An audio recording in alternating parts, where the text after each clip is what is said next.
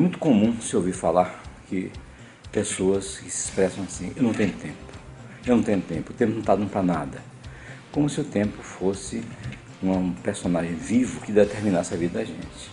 Em verdade, o tempo é referencial que a gente tem desde que a gente nasce até que a gente morre, tem necessidade de preencher um espaço de, de tempo que é coincidente com modos de 24 e 24 horas.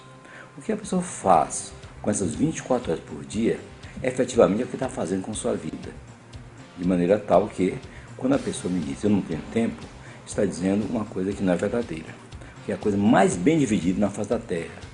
Quer ser presidente da República, o gari, quer ser radialista, quer ser o médico, não importa. Todo mundo só tem 24 horas por dia. É a coisa mais bem dividida na face da Terra, é o tempo. Então dizer que não tem tempo é uma falácia.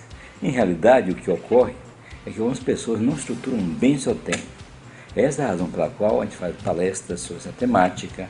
Estarei fazendo até uma palestra no dia 21, aberta ao público, sobre essa temática com a doutora Sônia Nogueira, sobre justamente como estruturar o tempo, o que fazer para evitar perder tempo, porque as pessoas perdem tempo de graça com o celular, ah, com o papel que lê não sei quantas vezes, com retrabalho. Então, uma série de situações que vão ser mencionadas nesse seminário e que aqui eu queria mencionar o seguinte.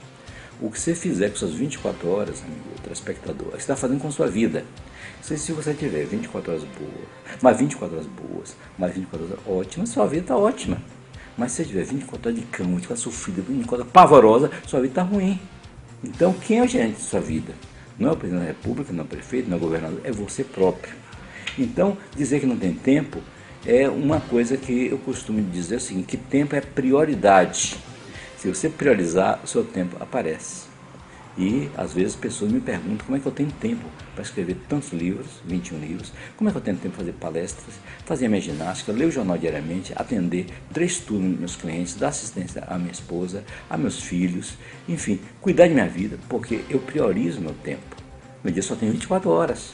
Descanso, evidentemente, porque ele precisa ter pelo menos 6 a 8 horas de sono, depende da faixa etária, mas o tempo útil depende de como você está gastando.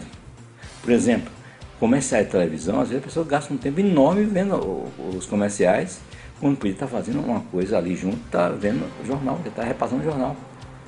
Às vezes, quando eu assisto futebol, que eu sou aficionado de futebol, e entre o primeiro e o segundo tempo eu já dou conta de uma parte do jornal que me interessa.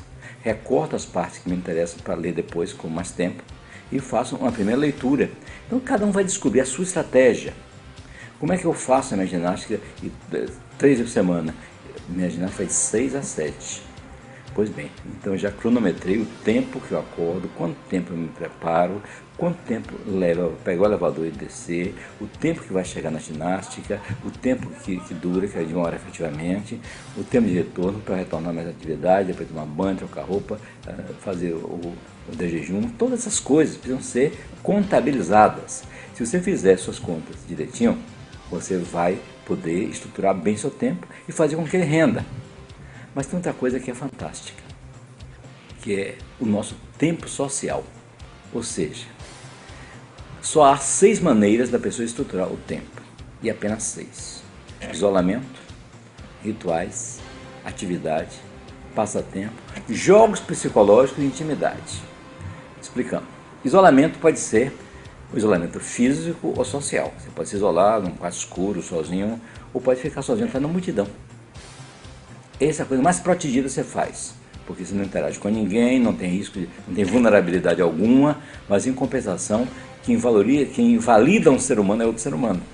Então, se você não interage com seus semelhantes, você vai ficar um tanto quanto abatido e daí a pouco vai ter umas ideias mirabolantes que não interessam. Então, isolamento tem vantagens e desvantagens. Toda vez que for voluntário, é uma, uma boa maneira de estruturar o tempo, você se frequentar. A gente precisa umas horas por dia, alguns momentos por dia se frequentar. Depois rituais. Tem rituais sociais. Bom dia, boa tarde, como vai, como tem passado, como vão todos.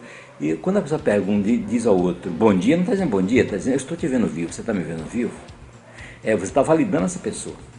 Se você perguntar como vai, ele diz, bom, até ontem eu estava com dor de cabeça, depois eu tive uma enxaqueca, e não é ele quer saber isso, não quer que você diga bem obrigado, ou então uh, razoavelmente, mais ou menos, e, e vai passando. Ou seja, bom dia em qualquer língua, bonjour, ou, ou savoir, ou qualquer coisa que diga em francês ou inglês, qualquer, qualquer coisa, good morning, está dizendo, estou te vendo vivo, você está me vendo vivo?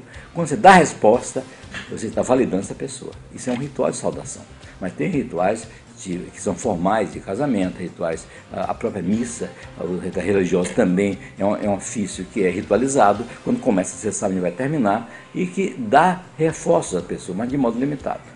Depois vem a atividade é profissional, você se ocupa dentro de alguma coisa que você tem uma expertise, que você tem um desenvolvimento, que você tem um conhecimento, e você vai receber reconhecimento pelo que faz, não pelo que você é. Não importa que seja a bela do pedaço, não importa que seja o bonitão da vez, se não tiver conhecimento ali na área da atividade, dançou. Então a atividade, portanto, é uma coisa que tem uma programação. É seu trabalho, é sua ocupação. Mas a atividade pode ser lúdica também. Você vai jogar um carteado com, com as pessoas. Tem gente que joga uma seriedade, não pode nem falar nada, jogo dominó, essas coisas todas, né? E tem um passatempo que é quando acaba o jogo, você vai comentar o que aconteceu. Falar sobre, falar sobre o jogo que passou, as suas falhas, as suas vitórias, contar as suas bravatas, contar como é que você conseguiu ganhar aquela partida, como é que você teve tanto azar de perder. Ou até mesmo quando você se encontra com alguém, você faz comentários avulsos que não são nada íntimos. Por exemplo, um que eu chamo de boletim meteorológico. É, tá calor, a chuva tá danada, vai chover, tá frio, essa frente fria tá chovendo demais, né? Esses comentários todos aceitam como sendo uma validação, mas na verdade não está entrando em intimidade nenhuma. Quando você arma um tipo de uma pegadinha para alguém e depois ah, e, e fica depois dando gozação, isso é um jogo psicológico. Toda situação em sua vida que se repete mais do que duas vezes Aposto. Tem um jogo psicológico, uma descoberta genial de um analista transicional que é Eric Berne e que faz com que hum, seja revelado que uma conduta humana ela é repetitiva.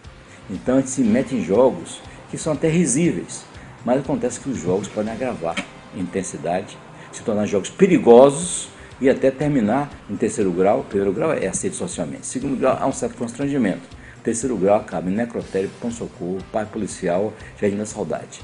Então não é coisa boa o jogo psicológico no terceiro grau. E finalmente a melhor maneira de todas, que seria a intimidade. Que maravilha você ser íntimo de alguém. Você abrir seu coração, dizer o que pensa e sente, confidenciar. Mas precisa ver a quem você vai fazer isso, porque quando você diz isto, é uma maravilha em termos emocionais, em termos de confidencialidade, em termos de, de confiança, de intimidade, está tudo beleza mas você fica muito vulnerável. Você pode sofrer uma CPI, porque os melhores amigos podem ser os piores inimigos. Então, sendo assim, é preciso você escolher quem vai ser a pessoa ou quem vão ser as pessoas que você elege para ser íntimo. Daí porque é importante que você tenha reuniões sociais para charlar, conversar, bater papo, falar sobre. Isso são os passatempos. Passatempo não é jogar carta, isso é uma, uma atividade lúdica. Pois bem, só para encerrar, eu quero mostrar como inevitavelmente a pessoa entra nessas seis modos, nessas seis maneiras de estruturar o tempo. Você, telespectador amigo, quando entra no elevador, se apertou e tem alguém dentro. O que você faz? Bom dia, boa tarde, fez o ritual. Daí a pouco, perigo, o que, é que eu vou dizer a essa pessoa? Um olha para cima, outro olha para baixo, entrou em isolamento. Daí a pouco fica danado aquele isolamento, tem diálogo interno, algum pega o celular e fica passando, então olha ali, 540 quilos ou, ou seis pessoas, fica fazendo conta, isso é uma atividade que você está fazendo para estruturar seu tempo, porque o tempo vazio é terrível. Aí de repente você pode arriscar, se a viagem de elevador for longa, uma, uma conversa. E tá calor, né? Ou então se vê ali, reunião do condomínio vai ser hoje às 20 horas. Esse síndico é maluco, vamos convidar para um jogo, vamos falar mal do síndico? O que menos acontece no elevador é intimidade a não ser quando são namorados que travam o elevador para ali dentro rolar uma coisa. Hoje bem que existem as câmeras que estão filmando tudo e até cerceou um pouquinho esse tipo de coisa. Então, enfim, conhecendo a maneira como você estrutura o tempo e sabendo que você é o que é o dono do seu tempo, você faz com que sua vida tenha mais qualidade, não tenha só quantidade. Desejo, portanto, que você estruture bem seu tempo e seja bem feliz.